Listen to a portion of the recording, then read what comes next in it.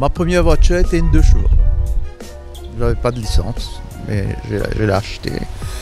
Mais tout a débuté là. Bon, on avait tout le temps des vieilles voitures dans, dans, la, dans la famille. Hein. C'est là. C'est un peu la, la nostalgie aussi d'avoir et de voir ces voitures-là. Et la passion, ça se constate, hein. ça se discute pas. Non, mais il y, avait, il y avait tout le temps des vieilles voitures dans la famille, ouais. Depuis des années 50, hein. peut-être avant. Je sors toutes les voitures. Je sors. Si je vais à Flac cinq fois, je change de voiture. En même temps, ça me fait rouler les voitures. Et on peut dire 4-5 fois la semaine. Ça dépend. Ça dépend des moods, tout ça. Et ça change. C'est pas conduire n'importe quel. Comment hein? C'est vraiment conduire une voiture. Il faut bien se préparer, il faut attendre, il faut. C'est pas comme dire on met à marche, on démarre et tout. Et quand on roule aussi, on, apprécie, quoi. Apprécie, on, on savoure, voilà.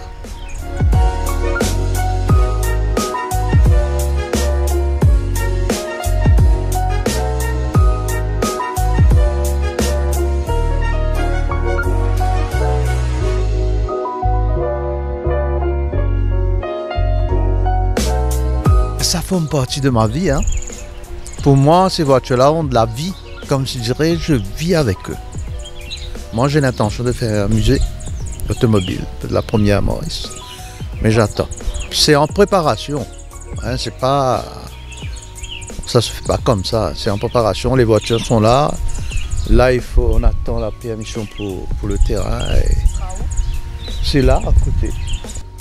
Vendre mes voitures, non. Ça, comme je dirais, donner un bout de mon cœur. Mais c'est pas possible, non. Les gens, ils viennent, ils demandent, mais je dis non, j'ai pas à vendre. Si vous voulez acheter, on peut vous aider à faire venir. Mais moi, je ne vends pas mes voitures, j'achète. Ouais, un matin, je me lève, je regarde. Là, le garage était ouvert, c'était pas fermé, je vois mes voitures qui en train de pourrir. J'ai dit, je vais arrêter de travailler parce que c'est pas quand j'aurai 60 ans que je vais conduire cette voiture-là. Alors j'étais voir le, directeur de la compagnie, dit j'arrête de travailler. Il dit tu es fou. J'ai pas travaillé. Vous avez arrêté pour pouvoir vous occuper de vos voitures Principalement, ouais. De profiter de ma passion. Ce que je gagne, je dépense dans les voitures.